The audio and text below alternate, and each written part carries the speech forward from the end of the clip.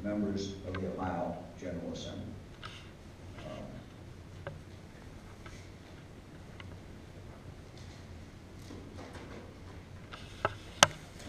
report. Uh, We are going to mail this and send it to every principal in the state of Ohio, public school, private school, and send it to all the superintendents. We are going to send it to every school board member in the state. And we will make it most available uh, up on our webpage.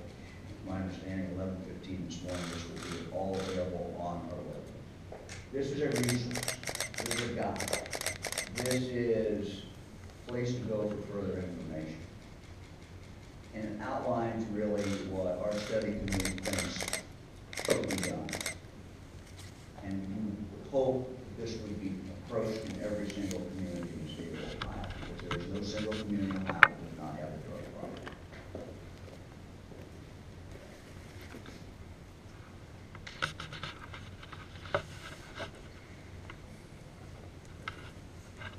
Let me stress an overall theme in this report. And that is that addiction is not only a school problem, it is a community problem. Schools should not and cannot develop a comprehensive prevention program on their own. Instead, substance abuse prevention efforts should be community-wide and community-based and based on local needs. I'd like to highlight a few of the 15 specific recommendations that emerged from the study committee's findings. First, the study committee concluded that Ohio schools should provide consistent, age-appropriate, evidence-based substance abuse education for all students, kindergarten through 12th grade. Second, a companion approach of including social and emotional learning instruction is vital. Social and emotional learning teaches good decision-making skills, builds self-esteem, and encourages positive interaction with others. There are curriculums and programs available today to Ohio schools without cost, and we include examples and links in this report.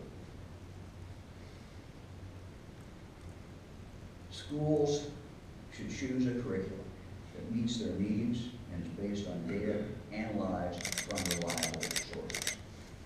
Fourth, the analysis also shows that this time we don't have a baseline for determining how schools are implementing substance abuse education in the state. We can't really tell what is going on, except anecdotally. The study committee recommends that Ohio adopt a reporting system that requires schools to report and explain how they're fulfilling their requirements to provide substance abuse education. These reports should be electronically available to everyone in the state of Ohio, as you know, with parents and with the public. Some of the additional recommendations include supporting early intervention efforts for children with mental health or addiction issues, problems, supporting law enforcement efforts, continuing prevention activities in our colleges and universities.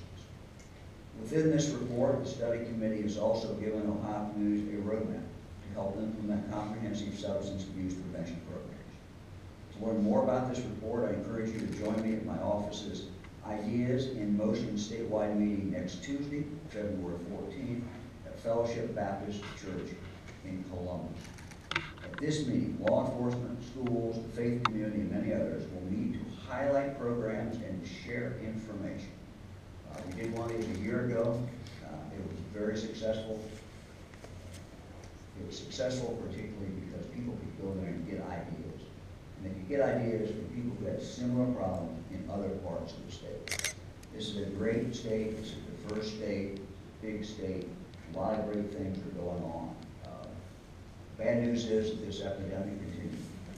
The Good news is that there are people and communities and organizations that are doing things that matter today, and things that actually will, in fact, and are in fact, saving lives. Let me say again, thank you to the members of the committee uh, for the countless hours they devote to the research and preparation of the report and its recommendations. It's vital that we teach our kids about the dangers of drugs and how to make uh, good choices.